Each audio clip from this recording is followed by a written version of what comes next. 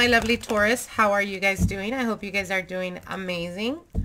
I hope you guys are excited about these new beginnings that are unfolding. Before we get into your reading, I want to let you guys know that we're going to be dropping the release of the Pendulum gift box. As you guys can see here, uh, we have pendulums that have been consecrated, ritualized in uh, ceremonial magic, uh, specifically for you to contact or deal with spirit guides and your ancestors. Um, that you can find in the pendulum. Uh, we have herbs and crystals that are protective as well as it comes with a uh, protective uh, vial as well as a necklace. You guys can see those here. I know it's not the best um, presentation, but you guys, it is exactly 3.55 in the morning right now. Um, sorry, 4.55 in the morning right now. Uh, we are a bit tired and we're going to be dropping that, um, we're going to drop that uh, pendulum gift box next week on Friday, which is going to be, let me check really quick, you guys, because I am exhausted. It's been a long day. Uh, so it's going to be next week, Friday, the 21st. So you guys can check that out in my online store. You'll be able to find that. I want to put it out there. There is only a limited amount. We only did 50. That's all we're going to be doing. Uh, so you guys go check that out if you're trying to get uh, your pendulum and if you're trying to work or start to work with spirits and your ancestors to get guidance, etc. Uh, that's the way to go, especially when they're ritualized. You're not just calling any type of freaking energy.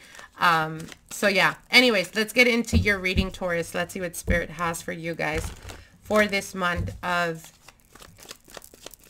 for this month of May 2021 in regards to love and romance. So I decided to do this a bit different. I'm going to be pulling out cards for you with one deck and then I'm going to be pulling out the partner or person of your interest with the other deck. So it's two different tarot decks that we're using here. Let's get into it. All right, Taurus. Your first card here is the Four of Pentacles, the Emperor card, the Lovers. Ooh, we got options, you guys. Okay. Death card, major transformation going on, Six of Pentacles, and the Moon card. Okay. So what I'm seeing here is someone in this connection or in this relationship. For some of you guys, there could have been an ending of a relationship. For others of you, there was an ending, but there is also some type of resistance. So it could be that you're still dealing with the person, uh, although you guys are not actively together at the present time. Uh, this could be a situation of either dealing with them on everyday basis or for some of you guys even living under the same roof for others of you, you're in a relationship that has came to some type of culmination. Um, but there is almost like there's resistance. You guys are not, someone here is not wanting to accept it. Um, I see you very guarded, Taurus, and I feel that for a lot of you, it's like you feel at this point that you have put enough effort I feel that you are being more kind of pulling back your energy. Um, the death card and the moon though, there, there's, there's something you're not wanting to accept or the partner's not wanting to accept. I feel that the majority of you guys are dealing with almost like a situation where kind of like, yeah, I feel like this relationship has come to an end. Um, but I'm here for the kids or I'm here because financially I can't do it on my own. Or um, it's like making up excuses of why you choose to remain there. And at the end of the day, what they're saying is you're still choosing.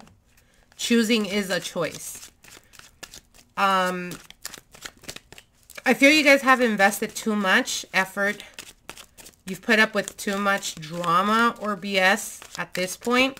And what they're telling you is you need to find structure or you need to find the courage to walk away from this situation, Taurus. You have to be stronger. You have to be it's something about structure. So it's either find like figuring out your finances and stop using that as an excuse. For others of you, figuring out how you're going to do it moving forward if there's kids involved. Like stop creating scenarios of why you, you're choosing to be there. Like there's there's no other scenarios other than you're actively choosing. Um,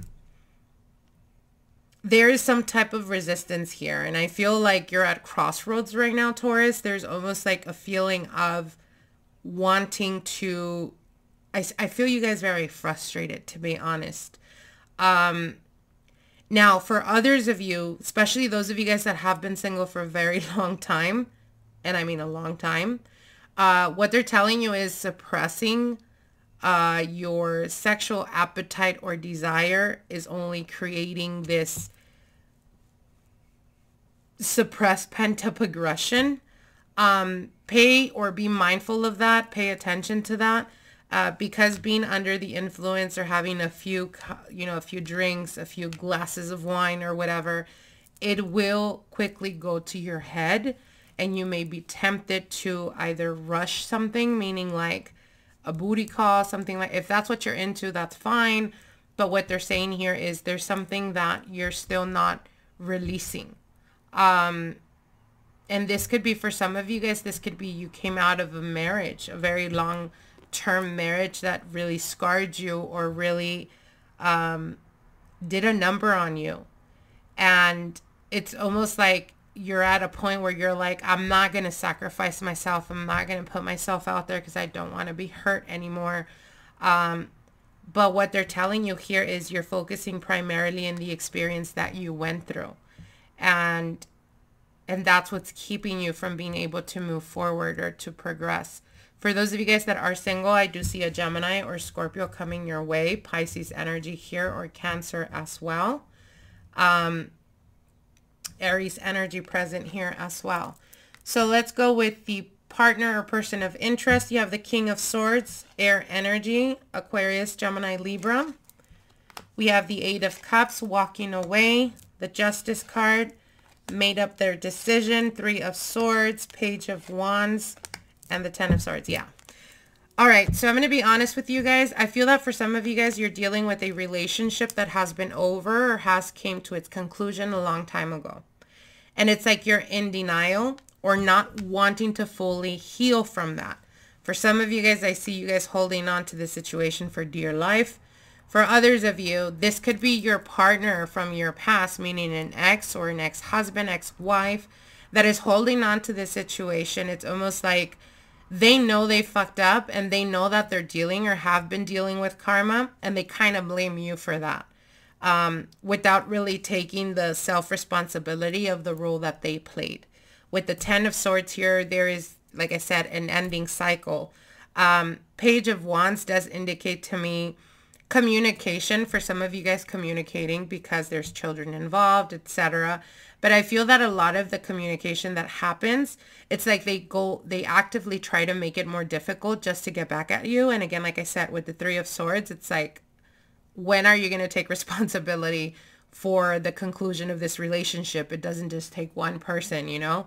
The Justice card speaks to me about balancing the scales or them having to deal with the hurt and pain that they've caused in the past. Um, what they are saying though is again, if you're dealing with the situation that you choose or have chosen to be single uh, because of the hurt and strife and difficulties that you went through in the past, like stop living in that past. I hear you saying, I'm over them. I don't think of them, but yet the fond memories or the best moments you've experienced, you experience in a couple or in a relationship. And what they're telling you is it's not so much of you missing the person per se. It has more to do with the feeling of knowing that you are emotionally supported. So it's time for you to completely release yourself from that karmic cycle, Taurus. I hope that makes sense to you guys.